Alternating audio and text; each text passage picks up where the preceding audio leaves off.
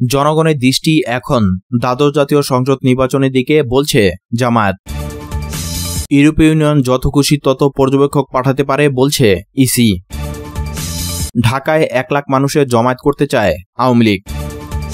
শুনছিলেন সংবাদ শিরোনাম এবার বিস্তারিত। তার আগে অনুরোধ থাকবে, ভিডিওটিতে একটি লাইক এবং কমেন্ট করে জানিয়ে দিন, কোন জেলা থেকে দেখছেন এবং শুনছেন আমাদের এই ভিডিওটি।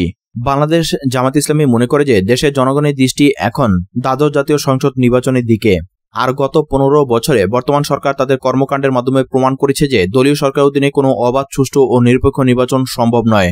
সুষ্ঠু নির্বাচনের জন্য কেয়ারটেকার সরকার প্রতিষ্ঠার প্রয়োজনীয়তা সকলেই অত্যন্ত গুরুত্বের সাথে উপলব্ধি করছেন। অথচ সরকার জনগণের ভোটাধিকার নিশ্চিত করার পরিবর্তে সারাদেশে গ্রেফতার, মিথ্যা মামলা দায়েরসহ নানাভাবে হয়রানি চালিয়ে যাচ্ছে। ভারপ্রাপ্ত আমির ও সাবেক এমপি অধ্যাপক মুজিবুর রহমানের সভাপতিত্বে অনুষ্ঠিত জামাত ইসলামের কেন্দ্রীয় নির্বাহী পরিষদের এক সভায় এই আহ্বান জানানো হয়। সবাই দেশে বিদ্যমান রাজনৈতিক পরিস্থিতি পর্যালোচনা করে সুষ্ঠু ও নিরপেক্ষ নির্বাচনের জন্য কেয়ারটেকার সরকার প্রতিষ্ঠার লক্ষ্যে প্রস্তাব গৃহীত হয়। জামাতে সবাই গৃহীত প্রস্তাবে বলা হয়, বাংলাদেশের জনগণের দৃষ্টি এখন দ্বাদশ জাতীয় সংসদ নির্বাচনের দিকে। বিগত পনেরো বছর যাবৎ দেশের জনগণ তাদের ভোটাধিকার প্রয়োগ করতে পারেনি। আওয়ামী লীগ দেশের নির্বাচন ব্যবস্থাকে ধ্বংস করে দিয়েছে। গত পনেরো বছরে বর্তমান সরকার তাদের কর্মকাণ্ডের দ্বারা প্রমাণ করেছে যে দলীয় সরকার অধীনে কোনো অবাধ, সুষ্ঠু ও নিরপেক্ষ নির্বাচন সম্ভব নয়। সুষ্ঠু নির্বাচনের জন্য কেয়ারটেকার সরকার প্রতিষ্ঠার প্রয়োজনীয়তা সকলেই অত্যন্ত গুরুত্বের সাথে উপলব্ধি করছেন এবং কেয়ারটেকার সরকারের অধীনে জাতীয় সংসদ নির্বাচনের দাবি জানাচ্ছেন। বাংলাদেশ জামাতে ইসলামী সূচনা থেকেই বলে আসছে যে, দেশে একটি অবাধ, সুষ্ঠু, নিরপেক্ষ এবং সকলের কাছে গ্রহণযোগ্য নির্বাচনের জন্য কেয়ারটেকার সরকার প্রতিষ্ঠার কোনো বিকল্প নেই।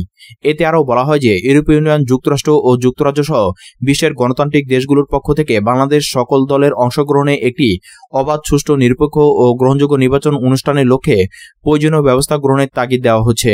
জাতিসংঘ এবং বিভিন্ন আন্তর্জাতিক সংস্থার পক্ষ থেকেও বাংলাদেশে একটি অবাধ, সুষ্ঠু, নিরপেক্ষ ও অংশগ্রহণমূলক নির্বাচন অনুষ্ঠানের আহ্বান জানানো হচ্ছে। ইতিমধ্যে গণতান্ত্রিক বিশ্বের প্রতিনিধিগণ ঢাকায় অবস্থান করে বাংলাদেশ সরকার সহ বিভিন্ন মহলের সাথে আলাপ আলোচনার মাধ্যমে সকল দলের অংশগ্রহণে একটি অবাধ, সুষ্ঠু, নিরপেক্ষ ও সকলের কাছে গ্রহণযোগ্য নির্বাচনের ব্যাপারে তাদের বক্তব্য তুলে ধরেছেন। জামাতের বৈঠকে আরও বলা হয়, বর্তমান সরকার জনমতের কোনো তোয়াক্কা না করে দলীয় সরকার অধীনে ভোটারবিহীন একতরফা নির্বাচন অনুষ্ঠানের সকল আয়োজন সম্পন্ন করতে ষড়যন্ত্রমূলক অপতৎপরতা চালিয়ে যাচ্ছে। বাংলাদেশের জনগণের ভোটাধিকার হরণ করে আবারও নীল নকশা নির্বাচন অনুষ্ঠানের জন্য সরকার চক্রান্ত করছে।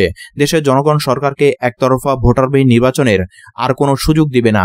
দেশের প্রায় সকল রাজনৈতিক দল এবং জনগণ আগামী নির্বাচন অবাধ, সুষ্ঠু ও নিরপেক্ষভাবে অনুষ্ঠিত করার ব্যাপারে দৃঢ় প্রতিজ্ঞ। জামাত ইসলামের কেন্দ্রীয় নির্বাহী পরিষদ লক্ষ্য করেছে যে সরকার জনগণের ভোটাধিকার নিশ্চিত করার পরিবর্তে সারা দেশে গ্রেফতার মিথ্যা মামলা দায়েরসহ নানাভাবে হয়রানি চালিয়ে যাচ্ছে। উচ্চ আদালত থেকে জামিন লাভের পরেও আমিরে জামাত ডক্টর শফিকুর রহমান, নায়েবে আমির ও সাবেক MP Maulana Shamsul Islam, secretary general ও সাবেক এমপি অধ্যাপক মিয়া গোলাম পরওয়ার, সহকারী সেক্রেটারি জেনারেল মালানা রফিকুল ইসলাম খান কেন্দ্রীয় মজলিসের সুরা সদস্য ও সাবেক এমপি শাহজাহান চৌধুরীকে অন্যায়ভাবে কারাগারে আটক রেখেছে। তারা উচ্চ আদালত থেকে জামিনপ্রাপ্ত হয়ে কারাগার থেকে বের হওয়ার পূর্ব মুহূর্তে তাদের বিরুদ্ধে নতুন নতুন মামলা দিয়ে সরকার মানবাধিকার ও সাংবিধানিক অধিকার লঙ্ঘন করেছে। সরকারের এই তৎপরতা সুষ্ঠু নির্বাচনের পথে বড় অন্তরায়। জামাত ইসলামীর কেন্দ্রীয় নির্বাহী পরিষদ সরকারের এই সকল তৎপরতা বন্ধ করার আহ্বান জানাচ্ছে। বাংলাদেশ জামাতে ইসলামী কেন্দ্রীয় নির্বাহী পরিষদ মনে করে জনগণের ভোটাধিকার পুনর্বহাল এবং সুষ্ঠু ও গ্রহণযোগ্য নির্বাচনের লক্ষ্যে অবিলম্বে কেয়ারটেকার সরকারের অধীনে জাতীয় সংসদ নির্বাচনের ব্যবস্থা করতে হবে। দেশকে একটি অনিবার্য সংঘাত ও অস্থিতিশীল পরিস্থিতির দিকে ঠেলে না দিয়ে একঘেয়েমি ও হটকারিতা পরিহার করে কেয়ারটেকার সরকারের অধীনে সকল দলের অংশগ্রহণে একটি অবাধ, সুষ্ঠু, নিরপেক্ষ ও সকলের নিকট গ্রহণযোগ্য নির্বাচন অনুষ্ঠিত করার গণদাবি মেনে নিয়ে দেশকে বিরাজমান রাজনৈতিক সংকট থেকে উদ্ধারের পদক্ষেপ গ্রহণ করার জন্য জামাতের কেন্দ্রীয় নির্বাহী পরিষদ সরকারের প্রতি উদ্যত্ত আহ্বান জানাচ্ছে। ইউরোপীয় ইউনিয়ন যত খুশি তত নিরপেক্ষ পর্যবেক্ষক পাঠাতে পারবে। এক্ষেত্রে ইসির কোনো লিমিটেশন নেই বলে জানিয়েছে নির্বাচন কমিশনের অতিরিক্ত সচিব অশোক কুমার দেবনাথ। অশোক কুমার বলেন, ইউরোপীয় ইউনিয়নের সঙ্গে নির্বাচন কমিশনের বৈঠক হয়েছে। তারা আগামী জাতীয় সংসদ নির্বাচনের প্রস্তুতির বিষয়ে আমাদের কাছে জানতে চেয়েছে। আমাদের ভোটার, ভোটকেন্দ্র ও প্রস্তুতি এবং সিসি ক্যামেরা সহ সব বিষয়ে তারা জানতে চেয়েছেন। আগামী আঠারো ও উনিশ জুলাই তাদের একটি টেকনিক্যাল টিম আমাদের সঙ্গে মিটিং করবে। আমাদের নির্বাচন ব্যবস্থাপনা এক ও দুইয়ের সঙ্গে মিটিং করে তারা আরও বিশদভাবে জানার চেষ্টা করবে। মিটিংয়ে তাদের কিছু প্রশ্ন ছিল সেগুলো জবাব দিয়ে আমাদের কমিশন তাদের সন্তুষ্ট করেছে। আজকের মিটিংয়ে তারা সন্তুষ্ট। তিনি বলেন, তারা আমাদের পরিস্থিতির বিষয়ে জানতে চেয়েছে এবং তাদের পর্যবেক্ষক পাঠানোর জন্য যা যা করতে হবে সেই বিষয়ে জানতে চেয়েছে। আমরা এ বিষয়ে তাদের বলেছি, পর্যবেক্ষক পাঠাতে হলে আগামী সেপ্টেম্বরের মধ্যে আবেদন দিলে ভালো হয়। কারণ আরও কিছু ফর্মালিটি রয়েছে। স্বরাষ্ট্র ও পররাষ্ট্র মন্ত্রণালয়ের ক্লিয়ারেন্সের বিষয়ও রয়েছে। পর্যবেক্ষক পাঠাতে চাইলে নির্বাচন কমিশনের কোনো লিমিটেশন নেই। তবে নিরপেক্ষ পর্যবেক্ষক যত খুশি তত তারা পাঠাতে পারবে। অতিরিক্ত সচিব বলেন অবজারভার পাঠানোর বিষয়ে কি কি প্রস্তুতি নিতে হয়, ইসি কি করবে তা জানতে চেয়েছে। কমিশন বলেছে, তারা যত সংখ্যক ইচ্ছা অবজারভার পাঠাতে পারে, এর কোনো লিমিটেশন নেই।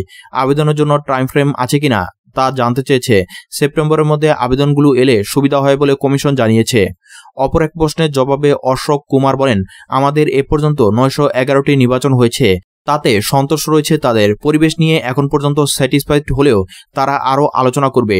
তারা তেইশ জুলাই পর্যন্ত থাকছে। আঠারো থেকে বাইশ জুলাইয়ের মধ্যে তারা আবারও টেকনিক্যাল টিমের সঙ্গে বসবে। নির্বাচনকালীন সরকার ও রাজনৈতিক দলগুলোকে ভোটে আনার বিষয়ে আলোচনায় আসেনি। তিনি বলেন, তারা প্রধান নির্বাচনী প্রস্তুতিটা কি তা জানতে চেয়েছে। আমাদের মেইনলি রোডম্যাপ আমরা তা নিয়ে কাজ করছি, ট্র্যাকই আছে। নির্বাচন কমিশন ফেয়ারলি নির্বাচন করতে সক্ষম কিনা, সেসব বিষয়গুলো জানতে চেয়েছে। ইসি সেই বিষয়গুলো এক্সপ্লেন করেছে তারা স্যাটিসফাইড বিএনপি সমাবেশের দিন বুধবার বড় জমাতের প্রস্তুতি নিচ্ছে ক্ষমতাসীন আওয়ামী লীগ। তাদের সমাবেশ হবে বাইতুল মোকারাম জাতীয় মসজিদের দক্ষিণ গেটে। দলটির লক্ষ্য ওই দিন এক লাখ মানুষের জমায়েত করা। এজন্য ঢাকা মহানগর উত্তর ও দক্ষিণ আওয়ামী লীগকে পঞ্চাশ হাজার করে মানুষ আনার লক্ষ্যমাত্রা নির্ধারণ করে দিয়েছে আওয়ামী লীগের নীতি নির্ধারকেরা। কেন্দ্রীয় ও মহানগর আওয়ামী লীগ সূত্র জানায়, গত ডিসেম্বর থেকে বিএনপির কর্মসূচি পাল্টা হিসেবে যত কর্মসূচি পালন করেছে তারা, এর সবগুলোই ঢাকা, মহানগর, উত্তর ও দক্ষিণ আলাদা আলাদাভাবে পালন করছে। এমনকি যুবলীগ ও ছাত্রলীগ নিজেদের মতো করে সভা সমাবেশ করেছে। কিন্তু বুধবার দুই মহানগর যৌথভাবে সমাবেশ করবে। এছাড়া সহযোগী সংগঠনগুলিকেও এতে অংশ নিতে বলা হয়েছে। রাজধানীর নয়পল্টন থেকে বাইতুল মোকারা মসজিদের দক্ষিণ গেটের দূরত্ব দেড় কিলোমিটারের কম। নয়পল্টনে দলের কেন্দ্রীয় কার্যালয়ের সামনে সমাবেশ করবে বিএনপি। অন্যদিকে ক্ষমতাসীন আওয়ামী লীগ শান্তি সমাবেশ ডেকেছে বাইতুল মোকারাম মসজিদের দক্ষিণ গেটে। সমাবেশও হবে কাছাকাছি সময়ে। বিএনপি সমাবেশ বেলা দুইটায় আর আওয়ামী লীগের সমাবেশ করবে বেলা তিনটায়। রাজনৈতিক বিশ্লেষকরা মনে করছেন, জাতীয় সংসদ নির্বাচনকে সামনে রেখে ক্ষমতাসীন আওয়ামী লীগ ও বিরোধী দল বিএনপির বিপরীতমুখী অবস্থানে রয়েছে। নির্বাচনে মাত্র ছয় মাস বাকি থাকতে স্বল্প দূরত্বে এবং এক ঘণ্টার ব্যবধানে দুটি সমাবেশ শান্তিপূর্ণ রাখা একটি চ্যালেঞ্জ। আওয়ামী লীগের উচ্চ পর্যায়ের সূত্র জানায়, তাদের বড় জমাতের উদ্দেশ্য দুটি। প্রথমত, এর মাধ্যমে বিএনপি সহ বিরোধীদের চাপে রাখা। তারা বিরোধীদের বার্তা দিতে চায় যে, রাজপথে নিয়ন্ত্রণ এখনও আওয়ামী লীগের হাতেই আছে। বড় জমাতের আরেকটি লক্ষ্য হচ্ছে বিদেশিদের দেখানো। আওয়ামী লীগ দেখাতে চায় তাদেরও জনসমর্থন বিপুল। গত রোববার দুই সপ্তাহের সফরে ইউরোপীয় ইউনিয়নের ছয় সদস্যের একটি প্রতিনিধি দল ঢাকা এসেছে। আগামী তেইশ জুলাই পর্যন্ত তারা সরকার, রাজনৈতিক দল, নির্বাচন কমিশন, নিরাপত্তা কর্মকর্তা, সুশীল সমাজ এবং গণমাধ্যমের সঙ্গে কথা বলবে। এরপর যুক্তরাষ্ট্রের আন্ডার সেক্রেটারি উজরা জিয়া সহ উচ্চ পর্যায়ের প্রতিনিধি দল আসছে। এসব সফরকে গুরুত্ব দিয়ে আওয়ামী লীগ রাজপথে সক্রিয় থেকে তাদের রাজনৈতিক শক্তি দেখাতে চাইছে।